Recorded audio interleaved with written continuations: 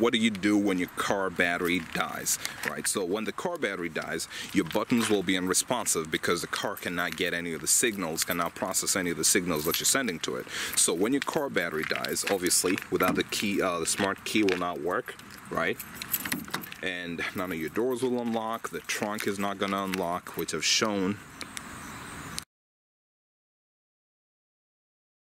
flip your key over. This, flip it over. You see this switch over here? You're gonna push this away from the center. Push this away towards the edge, like that. And when you push that, it releases this metal blade. All right, so release the metal blade. And when you release the metal blade, come here, unlock, and you know, I mean, with your battery dead, especially your car battery dead, this is not going to unlock the other doors. So you can do this, you can access this door, and if you need to access any of the rear doors, just reach in. Well, obviously you need to reach all the way over there, but I'll go for this door over here. Okay, so in is locked, out is unlocked. Okay, so this allows you to get to at least your, your main keys, your main seating area, your main uh, cabin. and. But what if you need to get to the trunk, to the rear storage area, whatever you call it. So reach in there, unlock the car, and then over here, I'm gonna trip this. Again, remember, I cannot push the trunk button over there because the car battery is dead, right?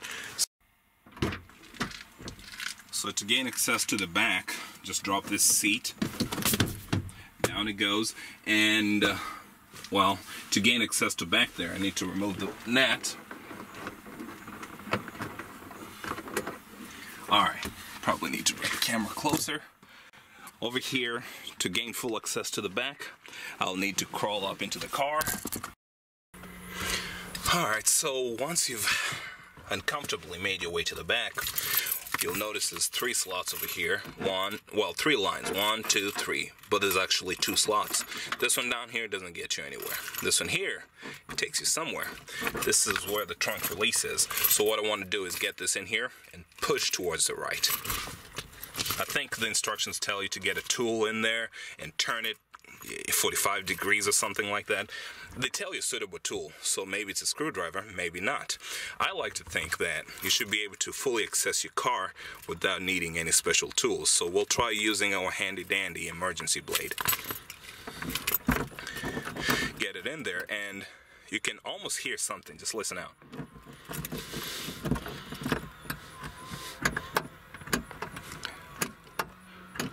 Something that kind of moves. All right, so farm hand. Do you hear that? Something moves in there, eh, like it's spring loaded. Okay, so I'll get a farm hand in there, or on there, and push towards the right. There you go.